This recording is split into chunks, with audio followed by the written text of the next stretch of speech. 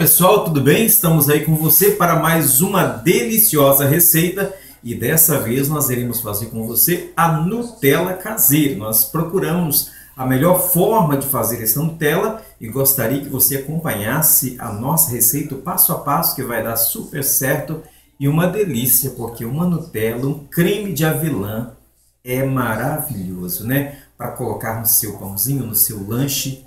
Acompanhe aí e veja como fazer a Nutella caseira. Pessoal, nós iremos precisar, o principal para essa Nutella é avelã. Está aqui a avelã, nós iremos torrar ela para tirar essa pele escura que ela tem.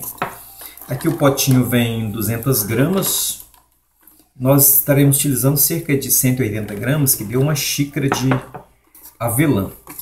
5 colheres de cacau né, em pó, que é um chocolate amargo ele, nós procuramos trazer aqui o 100% cacau, sem açúcar. Vamos utilizar aqui cerca de uns 80 ml de leite. Esse leite tem que estar bem quente.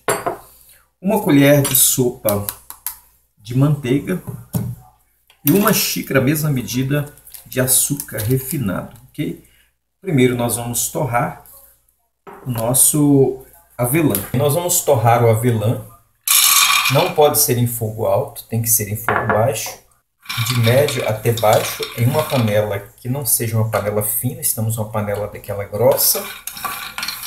E vamos mexendo aqui, ali uns 4 a 5 minutinhos, até que a gente torre ela como se a gente torra o amendoim, para soltar a pele. Então, pessoal, mexendo sempre aproximadamente aí uns 4 a 5 minutos em fogo baixo, você pode ver que ela dá aquele cheirinho de amendoim. E você esfregar assim, ela sair essa pele, já está torradinho. O nosso avelã, podemos apagar o fogo.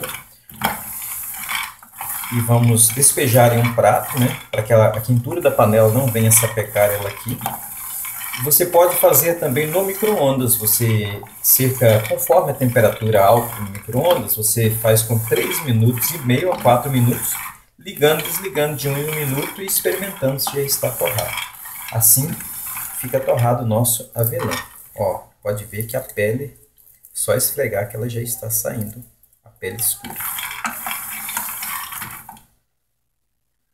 E assim que se torra então o avelã, sem queimar, ficando maravilhosa nossa avelã. E depois só esfregando assim, ó, tirando a pele dela Assim que ela vai esfriando, vai ficar mais firme. Então, pessoal, se você tiver um mixer bem melhor, mas se você não tiver, você vai bater essa xícara de amêndoas, ou seja, de avelã, né, aqui no liqui, vai pulsando até que ela fique bem triturada.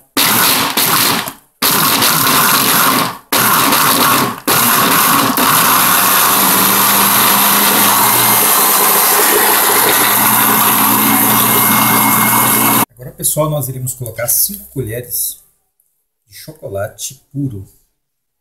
Esse não vem adoçado, não pode ser outro, tem que ser esse puro, 5 colheres. Pode ser aquele do padre, pode ser esse aqui.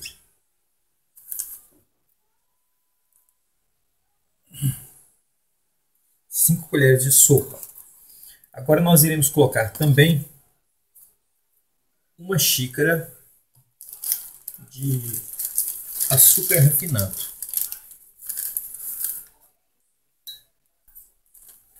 Uma xícara de açúcar refinado e uma colher de manteiga, manteiga com sal.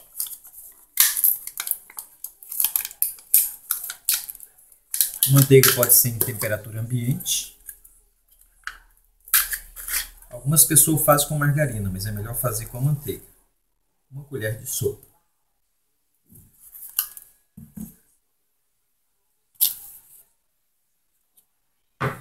Vamos bater tudo e colocando o leite bem quente. Vamos batendo e colocando o leite até dar uma consistência desejada que não fique nem muito mole e nem muito duro. Com a ajuda de uma colher, você desliga e vai tirando aqui das laterais. E vai sempre colocando um pouco mais de leite.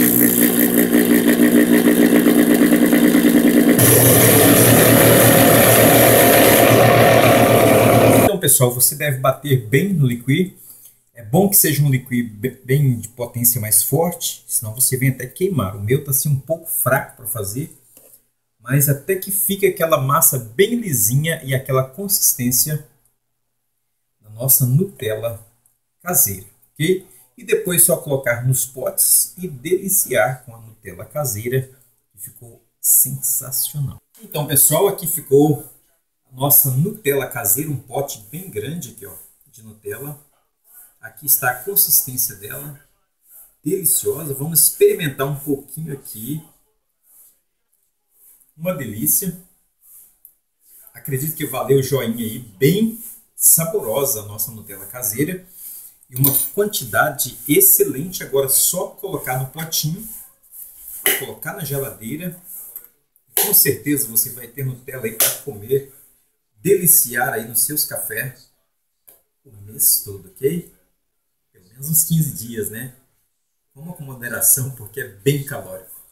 Canal Easy Arts Criação trazendo mais uma novidade para você. Compartilhe esta receita.